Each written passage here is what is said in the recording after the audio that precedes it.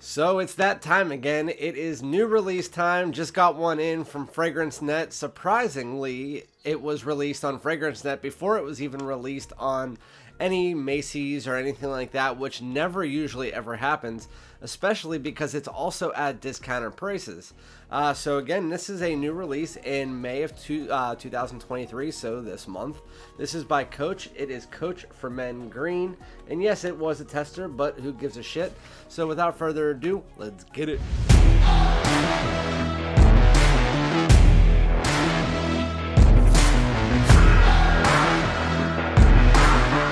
My great smelling dudes, welcome back to my channel. My name is Randy, as you guys know, aka Fragrance Dude. Before we get into the video and the new release in 2023, make sure to like, comment, subscribe, hit the bell, follow me on Instagram and TikTok at Fragrance Dude, so that we can get straight into this. As you guys already know, I already pointed this out.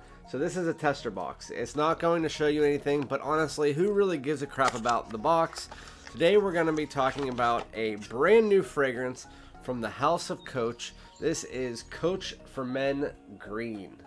So you can see that bottle it looks really sexy. It looks just like all the other Coach for Men bottles. If you are not accustomed to the bottles, it has the Coach tag that you can either take off or leave on. Um, and then it the normal Coach for Men is black with just a clear bottom. You have Coach Blue, which is black with a blue bottom. And then you have Coach uh, Platinum, which is a platinum version of this but they're hefty bottles, really nice glass. And then for the testers, it actually has the notes on the back, uh, which I didn't actually know the notes outside of Kiwi, and I think there was more online, but you can see there's also that. Uh, so I'm really excited because these fragrances usually release anywhere between, especially with the new price hikes, anywhere between like 90 to 140 dollars. Coach is usually on the lower end of that, so like 90 or 100 bucks. But with that said, um, one of my subscribers, I don't remember who it was, sent me a link saying, hey, guess what? Coach Green is on Fragrance Net if you want to pick it up. So I picked it up. It was 47 bucks, and uh, I got expedited shipping, which ended up not actually happening. So they refunded me not only my shipping, but 20 bucks. So I ended up getting this brought this fragrance for $27 total, which is actually pretty crazy. So anyway, today we're going to be talking about Coach for Men Green. I'm just going to give you the three notes they have on the back of it, which this is my first impression, so normally don't give you notes, but since it's here, why not? Um, it says that the top note is Kiwi Accord, uh, heart note is Rosemary Essence, and the bottom is Crystal Moss. And it says it's a woody, fruity, green fragrance. So we are going to spray it on my hand here, and wow. Oh, coach is not letting us down again. Oh, and I'm wearing green today. Nice. Oh, so right off the top, you get a nice mixture of kiwi and citrus. There's like a little bit of a citrusy bergamot underneath it. But that kiwi is sweet. It is a little bit tart. It's green. It is in your face sweetness. It is really, really nice. Yeah, there's definitely a citrusy undertone. And then there's a little bit of that moss underneath it. But you know what I'm getting here, which I don't remember it being in the notes, but what I'm getting here is almost like an ambroxany effervescence. Uh, something like you would get, um, maybe it's cedar, like a brighter woods, uh, where you would get it like in the Coach for Men or Aventus. It has that almost mossy, uh, slightly earthy, and then woods that provides this like sparkling effervescence with that citrus. The only difference is that you have this really nice kiwi note that is over top of the entire fragrance. So the way that you can really best describe this opening, yeah, it's getting even more into that. It has that semi-thickness that you get from the Coach for Men line. If you know what I'm talking about, you know what I'm talking about. It's almost like that fruity thickness. Um, but so it's that kiwi over top of it. Again, it is sweet, it is fruity, it is a little bit green, and then it has this almost effervescent woods underneath it. Uh, again, it could be ambroxan, cedar, something like that. Um, it's not coming off to me as one way or another, but the best way, again, to describe it is if you took a kiwi heavy fragrance that's doing the kiwi very nicely here and mix it with something like Coach for Men. I think Newt said it was like Coach for Men. And then there's also something like Aventus, um, where it's that undertoning nuance. So it's nothing that's crazy like them. It's just giving off that woody vibe that you get from them. It's really, really nice.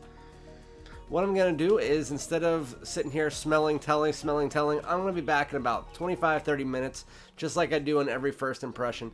Let it sit, get to the dry down, see what we get from it, and I will be right back.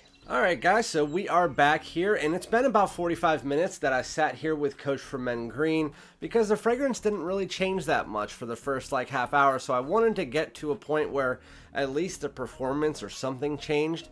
And so uh, Coach for Men Green, as of right now, is a must buy at that price that I got it for, which again, 47 bucks. Um, if you could find it on FragranceNet, buy that. I wouldn't buy it in stores like Macy's or anything like that. It's still a Coach for Men.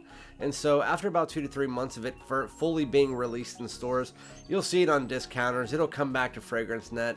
Um, just it's definitely worth the Coach for Men discounter prices for sure. So again, this starts out with that really nice uh, juicy green kiwi that is sweet. It almost has a little bit of tartness from the bergamot that's underneath it. And then as you um, are sitting there, you're thinking to yourself, there's something that reminds me of like the Aventus kind of coach for men woods. Whether it's like an ambroxan or cedar, it's a bright, almost effervescence that it gives to the like a sparklingness to that that it gives to the kiwi and that citrus that's in there. And it's not really super woody. The wood's more of a nuance, but it just provides this like sparkling effervescence to that kiwi, that sweetness. It's really, really nice. Um, and then as you get your way further, there's a little bit of musk. And then so at about a half hour, I didn't notice much of a change. At about a half hour, you can notice that that kiwi starts to dissipate. Um, it starts to become more of a blend instead of being the main prominent part of the fragrance. It tends to blend itself into the fragrance, kind of like the original Coach for Men. How in the opening you can notice the pineapple, stuff like that. Um, but then as you get about a half hour in, it just becomes more of a fruity, woody, musky style fragrance that is just a really nice blended, generic, but very good random pull style fragrance. This one didn't change, uh, doesn't change too much, and it's very similar to that as far as what type of fragrance it is.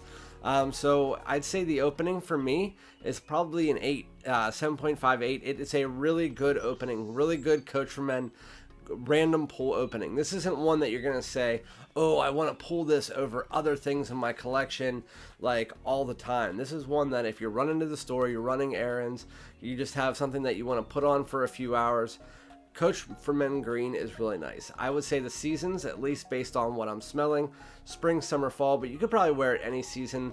I don't think it would do too well in the really cold weather, but um, this would be the perfect season for it because that kiwi gives off like that green um, fruitiness. You have some citrus under it, a bright, sparkling woods, and then again you get some musk. And then further into the dry down, right before I got to this point in the video, um, you, you get a little bit of an oak moss accord coming in, which provides even more of that Aventus style to it. So just imagine this. If you took Coach for Men and you made the prominent note in it a nice green fruity kiwi and it's really well done and then you just mix that together with that Aventus style woods then as you get to the dry down add in a little bit of oak moss and then have this fruity wood a woody, musky mixture. That is exactly what this fragrance does. It is very nice. It is a nice change to the line. It's not something that I've smelled before um, in the first half hour. Once you get further in, it does remind you of this and this and this, but that kiwi portion in it is definitely going to make you guys go, ooh, the only drawback is, is just like any other coach for men, like I said, this isn't going to go anywhere past a random pull, which is why you wouldn't pay full retail prices for it because it starts out about moderate to a little bit between moderate and above average, and it quickly starts to dissipate and become that coach for men. It seems like it's going to be a four hour, five hour scent at max, which to me, I don't care. Again, this is going to be a nice random pull, nice day out. Um, if you're going out in the garden, whatever you're doing, this is a really nice random pull for that. But after about 45 minutes, it's more of a personal bubble already. So I wouldn't be surprised if in about two hours this became a skin scent and in about four hours it would start to dissipate completely. I wouldn't be surprised by that, but again, um, I'm going to give some full wears on it. I think that's really nice. I'm going to actually wear it as my scent of the day today. Spray it a hundred times just in case. Um, but oh, that's really nice. The opening is so beautiful.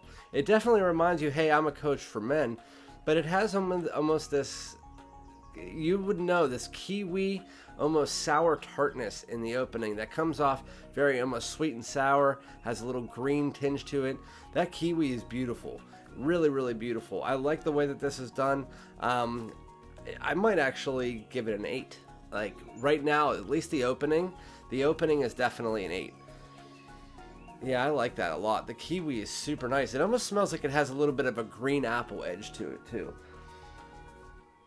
Yeah, like almost like a sour apple gummy bear or something like that. That's really nice. I like that. So anyway, um, hopefully they, some of you guys have got this in and tried it out. Uh, again, just to summarize it, I'm not going to keep you guys here all day. It is a really nice kiwi in the opening mixed with an undertoning citrus. Has a little bit of a green apple vibe now that I'm smelling it and I sprayed it a bunch. And then it has that nice clean effervescent woods. Whether it's Ambroxan cedar, I don't know. Uh, it's just undertoning. And then as you get further into the fragrance, you get some musk pulling in. That fruitiness tends to kind of absorb into the woods and the musk and then you have an undertoning uh, nuance of moss. There's not really anything else going on with the fragrance. It's pretty linear, at least for the first 45 minutes. But again, come back to my video in about two weeks and I'll do a full review of Coach for Men Green, which right now I think is probably in my top five releases of the year. But that's not saying much because this year has been very average. But as far as openings, that is probably one of my favorite first impressions of the year. It's just really nice, but for a random pull fragrance. Uh, it's nothing wowing, but it's just really nice.